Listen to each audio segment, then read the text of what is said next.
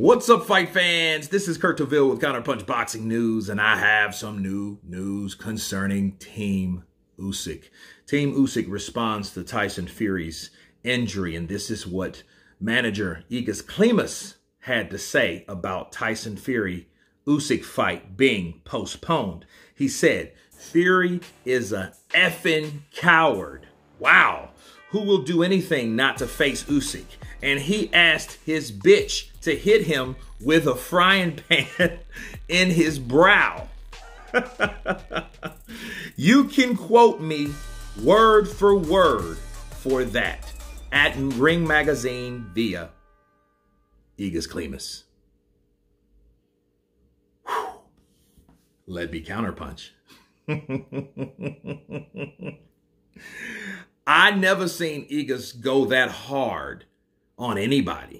So that tells you Team Usyk's pissed, bro. They are livid.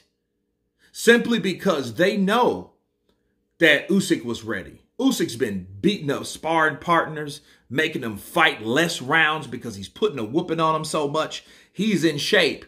And it's a such thing when you start training people and you're training and preparing for a fight and you're conditioning, you have a peak within that training session. Okay. Oh, Usyk's peaked. He's ready. You know what I mean? And after you peak, then you you wrap up the finishing touches on whatever you, else you need to work on. And that's probably defense. So you work on the game plan and then you implement, uh, you peak with the game plan in sparring. Then you come about with the defense behind it, you know, on how you would, you know, protect and defend against uh, Tyson Fury. And I think Usyk has peaked and, uh, and they know it because they're all in sync. Egis Klimas, Alex Krassyuk, the rest of those uh, uh, Ukrainian team that's that makes up Usyk, they're all in it together. They know this is what Usyk's doing this day. This is what he's doing this day. Oh, he's on calisthenics this day. Oh, he's swimming five miles this way this day. He's, oh, okay, he's sparring these selection of days and he's putting a whooping on these guys. So that's what's happening. And to see it come to a screeching halt, just like that, pisses him off. You can tell. I've never seen Egis Klimas talk that shit. Now, we know Egis Klimas was kind of gangster because of, you know, his upbringing and coming up in the Ukraine and then flying over here, then making a name for himself. And you know what I mean? You could tell he got a little mobster in him.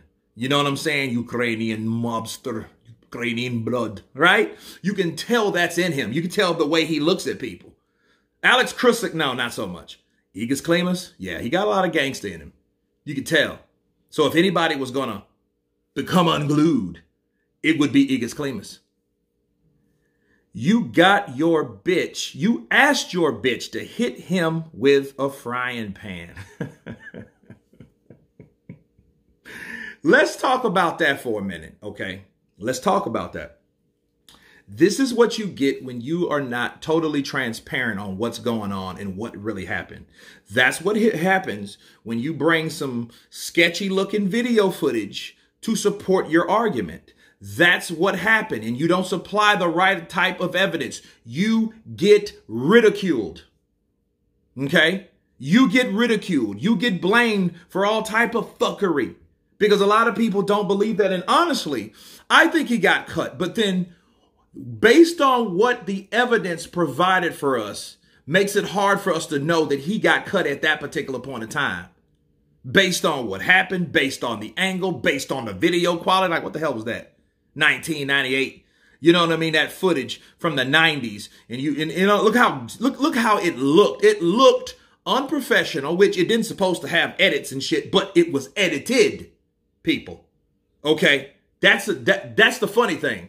You had shitty footage, but the shitty footage was edited. Hmm. It sounds fishy.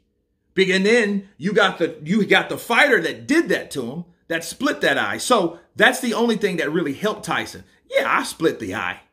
Right? And I don't believe this, but it wasn't from an elbow. So they're hiding what really happened.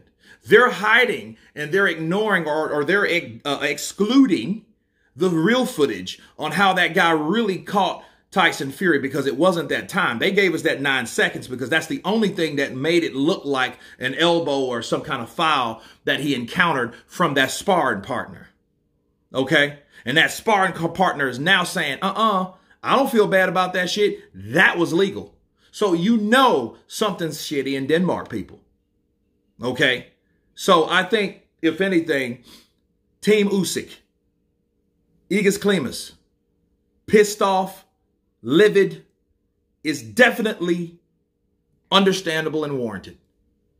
Because, you know, that stops progress of somebody fighting for the undisputed heavyweight championships of the world. But anyway, you guys tell me what you think of Egis Klimas exploding on Tyson the Gypsy King Fury. Of course, please subscribe.